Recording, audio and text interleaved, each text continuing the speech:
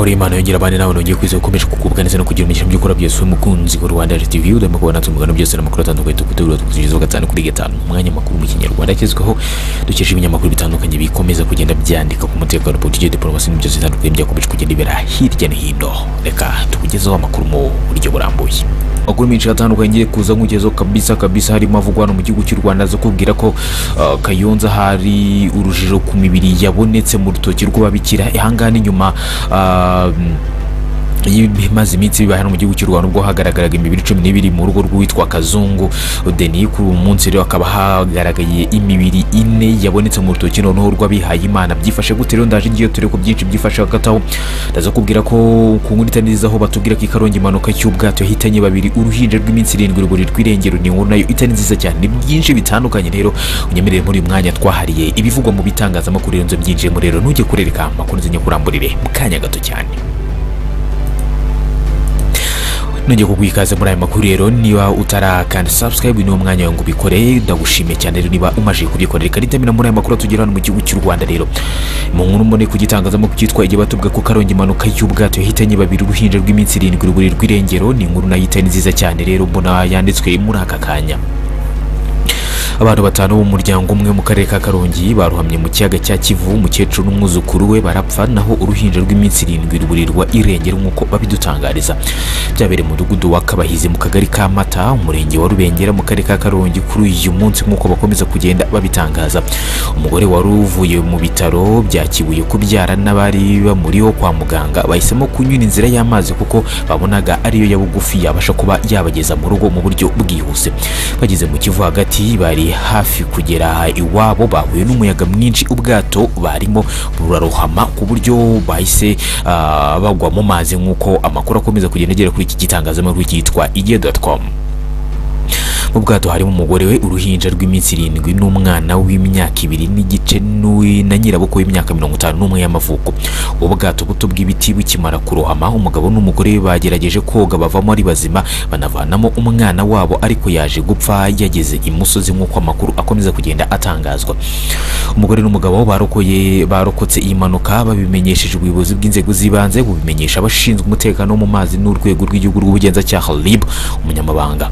Nshingwabikorwa w'akagari ka mataba ngendo fabien yabwiye ko bamaze kubona imirambo ibiri. Ati uruhinja ntabwo turarubona turi kumwe n'inzego z'umutekano ishami rishinzwe umutekano wo mu mazi bari kudufasha gushakisha kugira ngo turebe ko n'uru ruhinja twarubona. Baguye muri iyi mpanuka n'umwana w'imyaka ibiri n'igice na nyirakuru w'imyaka mirongo itanu n'umwe y'amavuko mu gihe undi mwana wari umaze iminsi irindwi avutse ataraboneka ariko na byo birumvikana ko yashizemo umwuka. Gitifu ngendo yahaye abaturage ubutumwa bw'ihumure abasaba ko mbere yo kujya mu kiyaga cya kivu bajya babanza bakareba byinshi bitandukanye ndetse bakaba banareba uburyo bakambara amakote y'ubwirinzi bizwi nka life jacket mu rurimi rw'icyongereza kugira ngo babashe kuba byibura n'igihe haba habayeho iki kibazo nk'iki ngiki bakaba barokora. Ubuzima bwabo urumva rero ni inkuru mbi cyane kabisa aho bari bari buvuye kubyara kabisa kwa muganga. Umudamu yari amaze iminsi irindwi abyaye umwana maze ubundi bacyambuka biza kurangira rero ahise bahise basiga ubuzima kabisa. Ntawamenya burya uruhinja hari ukuntu rugwa mu mazi wenda uh, bitewe n'uburyo uh, rwo ruba rutarakenera umwuka mwinshi wo hanze wo guhumekera mu mazuru no mu kanwa ugasanga hari igihe bijya bibaho wenda ugasanga rubonetse ari ruzima. Ariko aho ni amahirwe make cyane ko byashoboka bitewe n'igihe ubona gikomeze kugenda gishaka kandi nta makuru mashya aratangazwa kuri iyi nkuru. Reka rero twihanganishe uriya muryango dufate mu mugongo rero. Nite nkomeza n'andi makuru rero agerwaho nyamuneka rero. Amakuru abavugwa rero aba ari menshi cyane. N'ubundi nyiri mu gitangazamakuru cyitwa igihe. Hano ndabona inkuru isa neza neza n'imaze iminsi bibaye usibye ko wenda nabwo navuga ko ari ubwinshi bw'imirambo yabonetse ariko nanone hataramenyekana neza icyatumye iyo mirambo iri aho ngaho by'umwihariko noneho bikaba byabonetse mu rutoki rw'abihaye imana b'ababikira rero. Baratubwira ko hano kayonza urujijo ku mibiri ine yabonetse rero kabisa mu rutoki rw'ababikira ni ubuyobozi bw'akarere ka kayonza bwabonye imibiri ine mu rutoki rw'ababikira hakaba hatangiye iperereza ngo hamenyekane niba ari iy'abatutsi biciwe muri jenoside yakorewe abatutsi muri mirongo icyenda na kane. Nk'uko iyi nkuru y'igitangazamakuru gikomeza bivuga iyi mibiri yabonetse kuri uyu munsi kabisa mu mudugudu wa kabeza mu kagari ka nyagatovu mu murenge wa mukarange.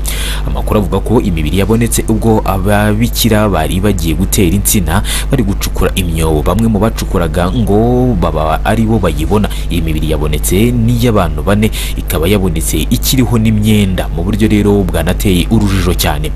Umunyamabanga nshingwabikorwa w'umurenge wa mukarange ngarambe alphonse yahamirije ko ibi kose ari ukuri. Ati ni imibiri ine yabonetse mu rutoki rw'ababikira yabonetse ubwo bari bari gucukura imyobo ngo bateremo insina.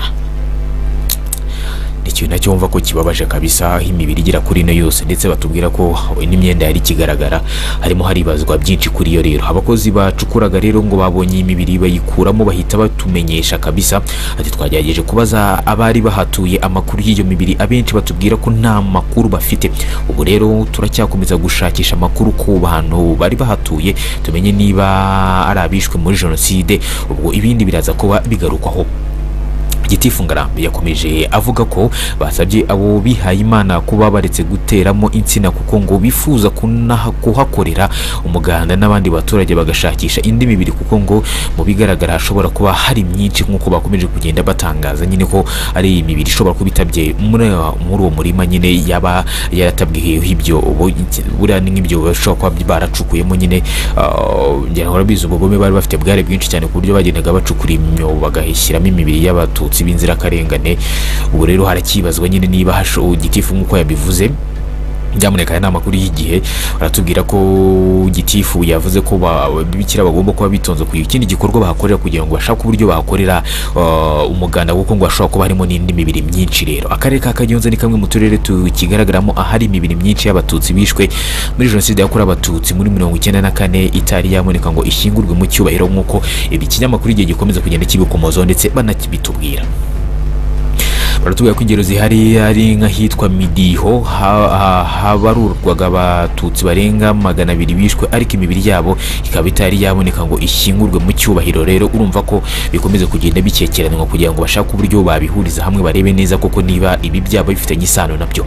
Hari kandi abishwe bakajugunywa mu cyuzi cya ruramira aho hagenda haboneka imibiri rimwe na rimwe naho navuga ko ngo imibiri yose ah, itaraboneka ngo ba- ibashe kuba yashyingurwa mu cyubahiro rero. Ariko nanone nk'uko igitangazamakuru igihe bakomeza kugenda babitubwira biravuga ko hakiriho urujijo kugira ngo hamenyekane byinshi kuri iyi mibiri y'abazize ya- yabonetsemo hariya ndetse ko hakiri nyine kwibaza byinshi bitandukanye kugira ngo baze kuba bamenya ese iyi mibiri yo yaba iturutse hehe? Byaba byifashe gute? Cyane ko noneho icyatumye habaho n'urujijo nuko n'imyenda yari ikiriho rero nyine hari kwibazwa byinshi kuri iyi ngingo. Bivuze ngo rero n'urwego rw'igihugu rw'ubugenzacyaha na ni urwego rushinzwe gusuzuma ibimenyetso habereye icyaha n'ibindi binyuranye buriya ah, mu minsi yatambutse baruhinduriye izina mbere rwitwaga rwanda forensic laboratory. Ubu ngubu rero bakaba nibaza ko nabo barimo baragenzura ngo barebe ibyiza babashe kuba bapima bamenye byinshi bitandukanye kuri iyi nkuru rero. Urumva ko na yo ni inkuru navuga ko ari incamugongo. Kuba mu minsi yatambutse harabonetse icyobo kirimo abantu basaga cumi na babiri bishwe n'umuntu.